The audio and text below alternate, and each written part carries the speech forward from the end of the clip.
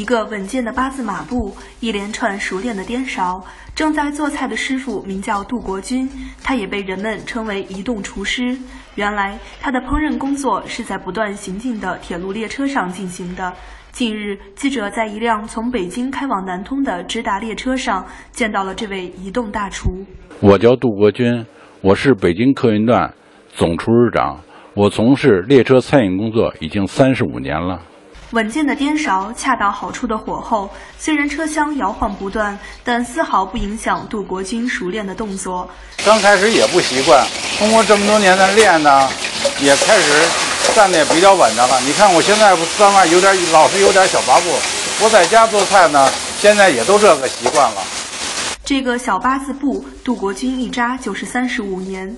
从一九八零年进入铁路工作后，他便一直从事列车餐饮工作。三十多年间，始终奔走于列车的移动厨房中。杜国军坦言，如今随着高铁动车愈加普及，对很多人来说，铁路餐车的印象就是各种价位的微波加热盒饭。其实，在不少非高铁动车的普速、特快、直达旅游列车上，除了盒饭，后厨也会为乘客现场烹饪餐食，端出一道道现炒的热菜。那肯定的啦，现做的菜肯定好吃啊！你为什么喜欢吃炒菜呢？嗯，对不对啊？如果说盒饭比那个炒菜好吃嘛，谁谁愿意吃愿意点菜呢？杜国军说：“非高铁动车的运行时间往往较长，为让乘客们能吃上更新鲜美味的餐食，餐车中往往会设置后厨，为乘客现场做菜。首先看到呢是厨房的半成品冰箱，上面那个是咱们那个厨房的餐料柜，底下呢是蔬菜柜，右手边设备呢是电磁灶，两边呢是两个凹灶。”中间呢是一个平灶，我刚上班那时候是使的是煤灶，做下一顿饭呢，满脸都是黑的。现在的灶呢，既既好又省事儿，又不污染环境。现在呢，咱们这个餐车呢，后厨呢增加了这个电蒸饭箱。过去我刚上班的时候，那时候都用小锅焖饭，一次呢只能焖十五斤米。